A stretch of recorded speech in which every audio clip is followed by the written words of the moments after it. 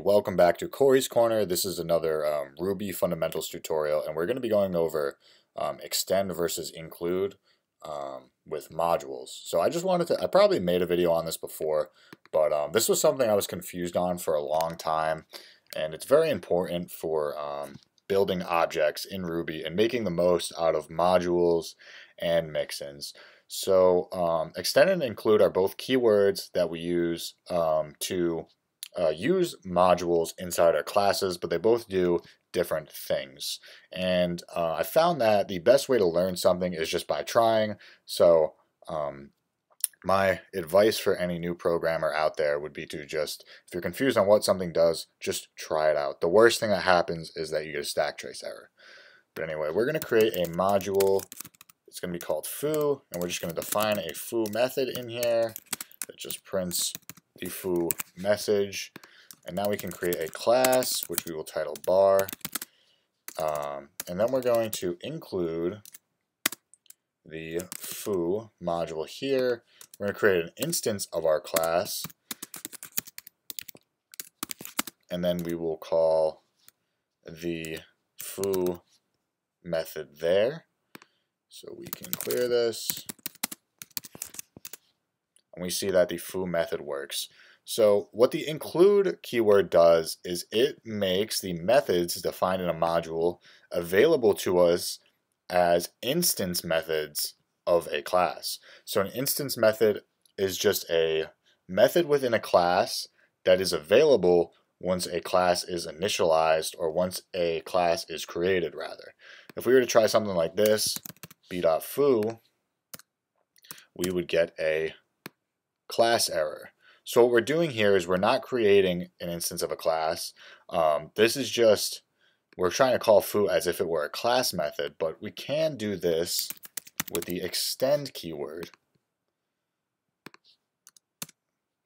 So a class method, foo is now a class method inside of our bar class. A class method is a, you know, it is a, um, a method that is available um, within the class, uh, within all of the classes, with but it's not available in the instances of a class. So typically we would use something like um, extend if we were to use the private methods in our class or if we wanted to create a bunch of methods that would not be available to instances of our class. We can also do extend and include at the same time. Now our foo, oops,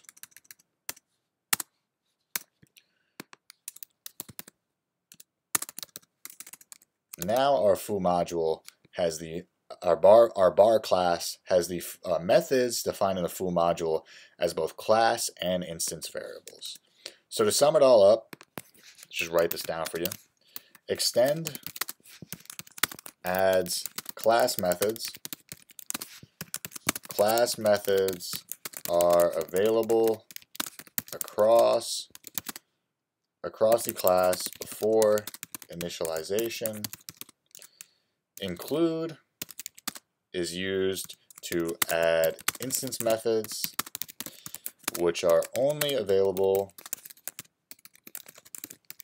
when a class is initialized. So if you're using uh, a class as a, you know, an abstract class or a class that is never initialized, you would want to use extend.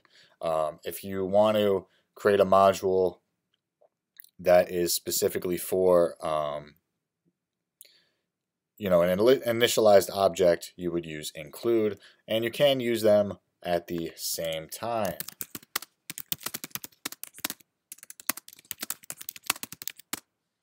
So that's all I have for this video. It's pretty quick, basic Ruby video, but I just wanted to make it because I figured that um, I was confused about it for a very long time, and I'm going to come out with some more modular-based videos. Um, but thank you for watching. Please subscribe, like, uh, check out the Corey's Corner podcast and my blog post. It really helps me out. Thank you.